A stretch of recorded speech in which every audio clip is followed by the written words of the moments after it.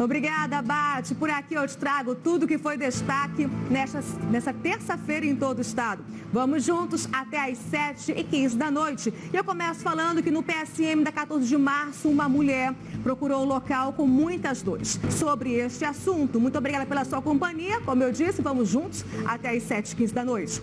Dois irmãos saíram para o soco dentro de casa, na casa em que moram, lá em Santarém, no Oeste Paraense. Um deles ficou ferido. A polícia e o SAMU foram acionados no que deu essa história. Confere comigo.